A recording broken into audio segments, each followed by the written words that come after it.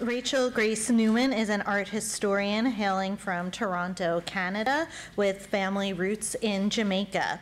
She specializes in the art history of the colonial Caribbean and contemporary art practices of the Caribbean and the African diaspora.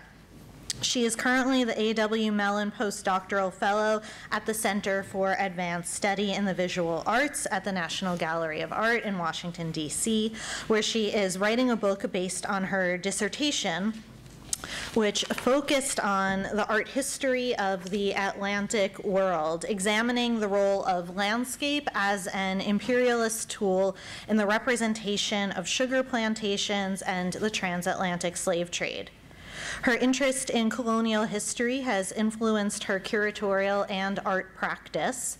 In the spring of 2016, she curated a show called Blood in the Sugar Bowl at the Cantor Art Center at Stanford University.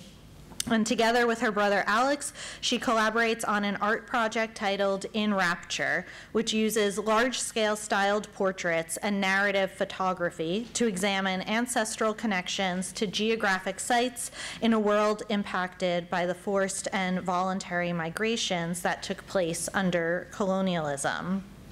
So, with that, we'll start with Rachel Newman.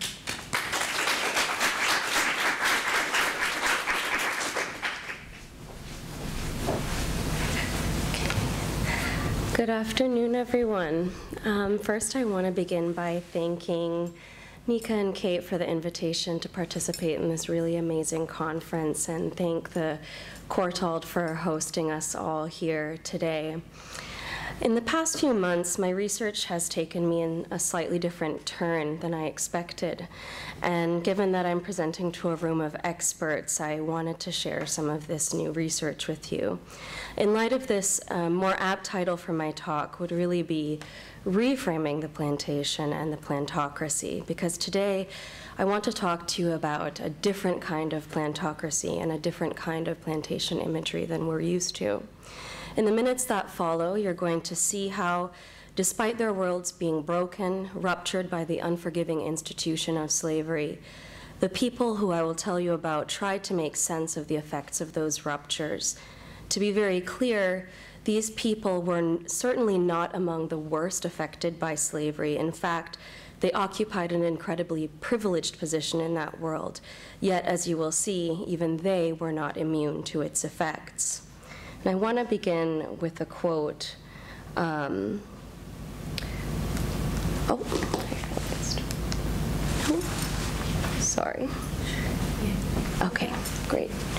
Um, so this is from Toni Morrison. From a woman's point of view, in terms of confronting the problems of where the world is now, black women have had to deal with postmodern problems in the 19th century and earlier certain kinds of dissolution, the loss of and need to reconstruct certain kinds of stability. These strategies for survival made a truly modern person. They're a response to predatory Western phenomena. You can call it ideology, an economy. What it is is a pathology. Slavery broke the world in half. It broke it in every way. It broke Europe. It made them into something else. It made them slave masters. It made them crazy. They have had to reconstruct everything in order to make that system appear true. And I want you to think of that last sentence, especially as we're looking at these images of plantations. Perhaps the best place to begin is with the story of a woman named Frances Brown. Born into slavery in the late 18th century, she was raised on Belmont Plantation in rural Jamaica, a place that can be found at the termination of World's End Gully. So we're looking, I'll show you. Oh, so it's right at the top of the head of this river here that we're going to zoom in. So as you can see, this is the satellite view, and then underneath Here's Belmont at the end of World's End Gully. At some point, Frances was likely coerced into a relationship with John Shand, the wealthy Scottish owner of Belmont and manager of several other large plantations on the island. At some point, John freed Frances, even as most of her extended family remained enslaved on Belmont. Over the course of the next two decades, Frances would bear John 10 children, all born and baptized in St. Catherine, Jamaica. Sadly, as a woman of color, born into slavery and freed by her partner, Frances' control over her family uh, that she had built was limited. In 1816, only one year after the birth of her last child, John Shand informed her that he would be taking all of the children to the massive estate he had purchased in Scotland and that Frances would not be joining them. This is the estate as it is now. This is what it looked like in the early 1900s. As a formerly enslaved woman of color, there would be no place for her in Scotland. Besides which, her presence there would only serve as an indicator of something that would be better concealed that the children were not only illegitimate, they were not white. Frances would stay in a house in Spanish Town, Jamaica, until her death in the mid 19th century. As far as we know, none of her children ever returned. Before her family left, however, Frances made a specific request of John. She had him commission portraits of each of her children, which she then bequeathed to them upon her death. We don't know who painted these portraits or even whether they still exist. Their production, however, stands as an incredible intervention by a woman of color to, in Morrison's words, reconstruct stability in her own fractured world.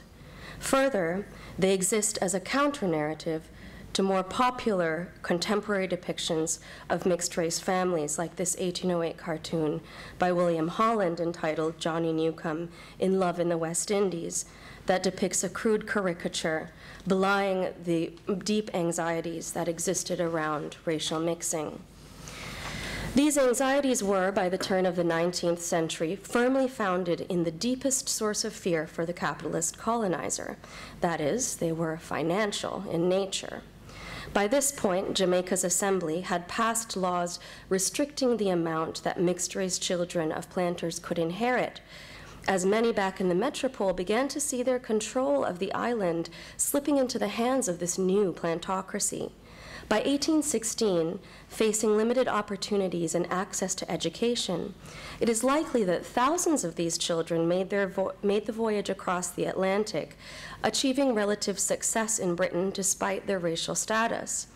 As Daniel Livesay writes in his recently published book, Children of Uncertain Fortune, the presence of these children in England and Scotland would play a vital role in influencing ideas around race, slavery, and eventually abolition. Although I am not personally aware of any account of a woman of color participating in the commission of a work like this um, in Jamaica prior, after, sorry, prior to this date, we can safely assume that works like these portraits that Frances commissioned really weren't unique. As the 18th century came to a close, more and more men and women of color became part of the plantocracy, gaining access to uh, means to commission works like this. I would add that this included not only women of African ancestry, but also several of Jewish ancestry. Ultimately, this story makes the point that there were complex networks of patronage functioning in Jamaica that existed outside of the groups that spring to mind when we typically think plantocracy.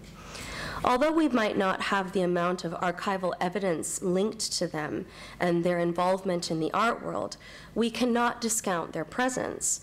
As Saidiya Hartman, who has so beautifully explored the history of the world created by the slave trade, writes, quote, the irreparable violence of the Atlantic slave trade resides precisely in the stories that we cannot know and that will never be recovered. To this, she adds that there are, quote, boundaries of the archive. History pledges to be faithful to the limits of fact, evidence, and archive, even as those dead certainties are produced by terror, end quote. When we think of the plantocracy and the plantation, this is the first sort of thing that comes to mind. It's the table of contents from James Hakewill's 1821 serial publication, A Picturesque Tour of the Island of Jamaica. From Dawkins, who's listed here, whose fortune let him discover and bankroll the excavation of Palmyra, Syria, to Beckford, who at the age of 10 inherited a fortune of approximately 130 million pounds, was at one point the richest commoner in, in uh, England. It reads like a veritable who's who of planters. Many of them owned multiple plantations in the Caribbean, and many would never see those holdings as they did not want to take the risks of traveling to Jamaica or living in Jamaica. The images seen in Hakewill's work, and indeed the most predominant type of plantation imagery that we know, were designed for and sponsored by this kind of viewer, this kind of plantocracy. Hakewill's depiction of Williams Field Estate is perfectly in line with how they would have wanted to see their plantations depicted. The 800 enslaved people who lived on this plantation are virtually erased in Hakewill's visual imagination, and when they do appear, they are so small they are barely visible. In one image after another, sumptuous plantation homes perch amidst lush Jamaican geography, while lone slaves lounge in the hills, never toiling, simply existing under the firm but, quote, fatherly care of their masters. The brutality of the system that they picture is not the only thing that has been obscured in these images. Hakewill created an idealized depiction of an economic system in peril. After 1800, the frequency of slave revolts rose dramatically, and between 1815 and 1833, Jamaican sugar production declined by nearly one sixth as bankruptcies ran rampant in the Caribbean. Utilizing compositional schemes familiar to a metropolitan audience, artists like Hakewill render the foreign space legible to the European viewer by using a visual language they were familiar with. As Jill Casid points out in her book, Sowing Empire, the picturesque was a process of recognition that meant translating terrain into an established compositional type. The reformations enacted by the picturesque in these prints were played out in reality on plantations where violent relandscaping of the islands enabled the growth of non-native plants like sugarcane. In my dissertation, I argue that the picturesque Images like this one, with their roots in an emphasis on the pastoral, diminish the modern industrial nature of the plantation. And they were constructed through a pastiche of observed real and imagined ideal nature. The picturesque effectively took place out of real time, a feature of the genre that undermined the careful attention to time on plantations, where time was obsessively monitored and structured. Ultimately, these images extract these ultra modern industrial spaces, spaces that in many ways ushered in the modern era as we know it, from the narrative of modernity, placing them outside of time and history. The persistence of this kind of imagery into the early 20th century through tourist photography has continued to entrench these spaces in the skewed telling of history. Although he arrived in Jamaica several years before Hakewill, William Berryman adapted an entirely distinct approach to depicting the space of the plantation and Jamaica in general a woodblock printmaker and watercolorist based in London, in 1808 he traveled to Jamaica to accompany his sister to marry William Sells, a doctor who worked on the Four Paths plantation in Clarendon Parish. Berryman would remain in Jamaica for another eight years, during which time he produced over 300 drawings and watercolors. During his time on the island, Berryman traveled extensively staying with various families and repaying them for their hospitality by producing miniature portraits of them and likely views around their properties. This is, uh, I've started mapping everywhere that he went in Jamaica, but um, I'm by no means finished. Um, although you can see where his travels are concentrated are in these very sugar-rich parishes. Um, Unlike the contemporary depictions of the island, most of his landscapes are composed of these broad horizontal bands with low horizon lines, and many were created on the spot, containing detailed notes of place, time, sky coloration, and cloud formation. You can see his notes in the bottom of the image. This concern with accurate time and its impact on the environment in Jamaica acknowledges the existence of that place and the plantation in the present moment, not in a sort of imagined distant past.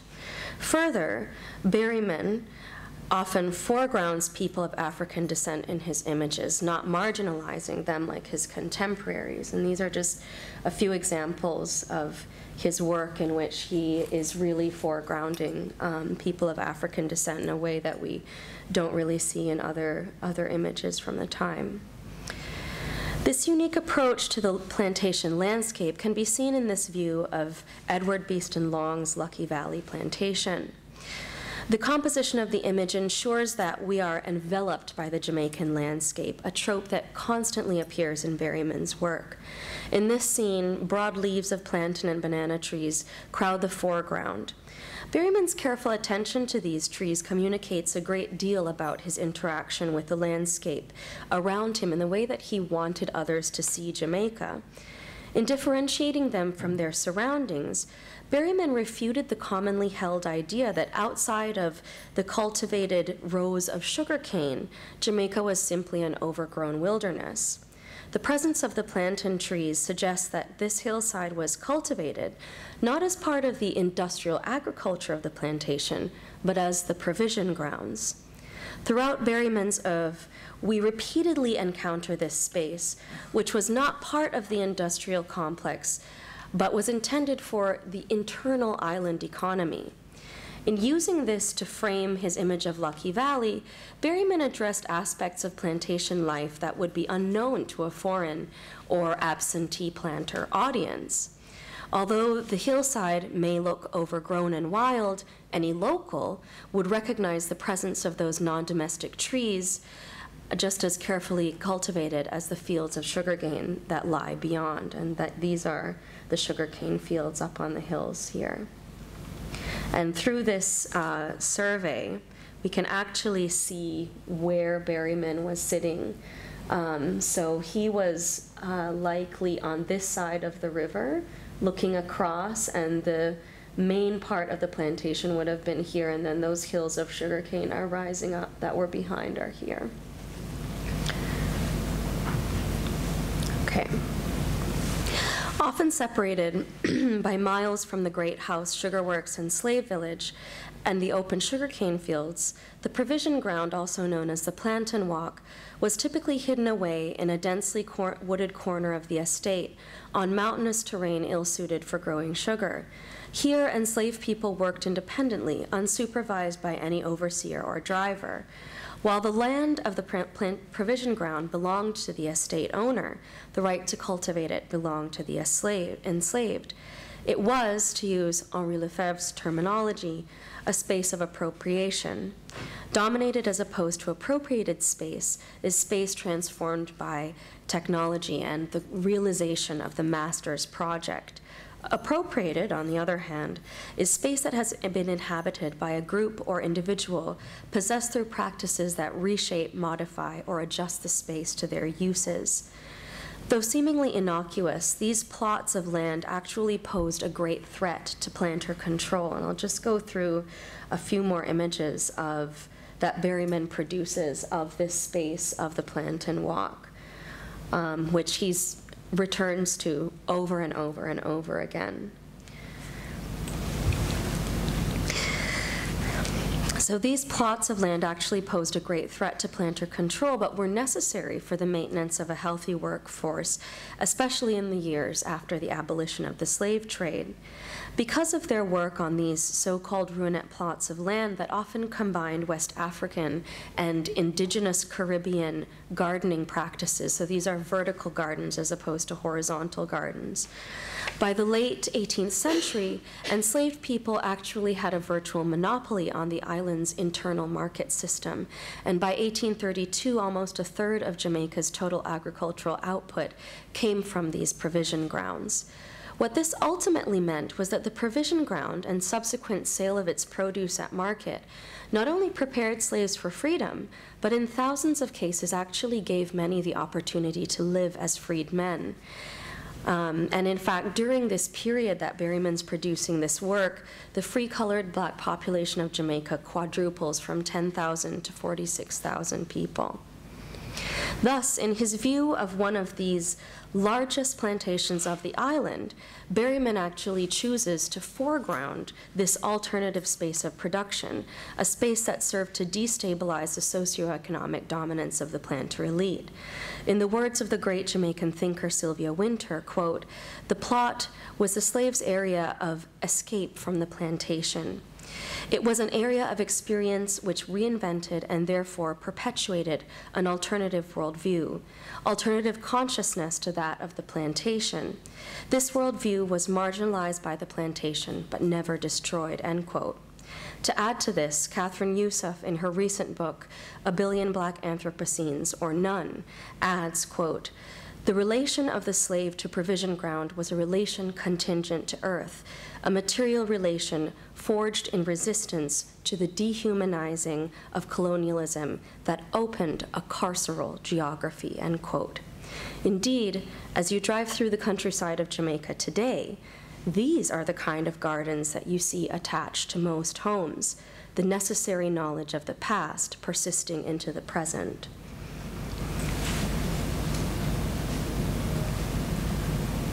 These are just a few more images that he produces of this space. Okay.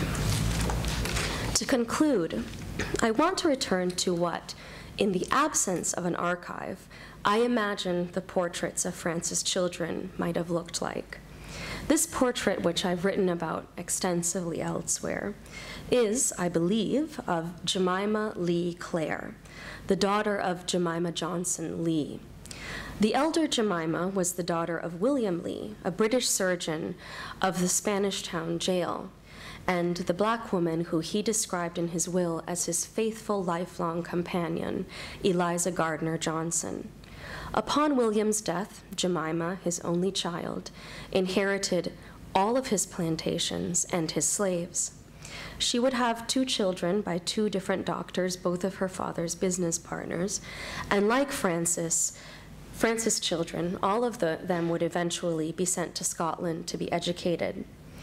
I believe this portrait was produced by Berryman uh, during his return voyage to England.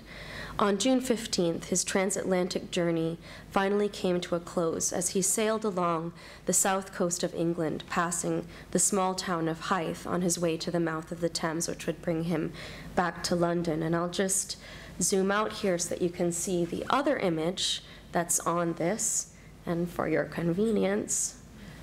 Um, so the boat heading into Hythe, and these are the cliffs of the south coast of England here. This is the boat, um, has been combined with this image of Jemmy. And I'm really happy to speak more about that image. Um, but upon his return, Berryman would become involved in the development of a school for the children of the families he met in Jamaica. I believe that Jemima was destined for that school, and that is why she traveled back with Berryman and his sister. Fixed both geographically and ancestrally between colony and metropole, Jemmy embodies modernity in so many ways. Her journey, reversing the forced migration and willful immigration of her ancestors, ushered in a new era for the Atlantic world as the legacies of the slave trade took on a new form and the children came home. Indeed, that legacy is resurrected in this room. Sorry. Today, as one of Berryman's descendants actually sits among us. I like to think of her ancestors and mine who worked on the plantations near to where Frances Brown was born and where Berryman traveled, coexisting, never realizing that 200 years later we would meet. Yet here we are, tying off those loose cords of history, repairing the ruptures as we proceed into the future. Thank you.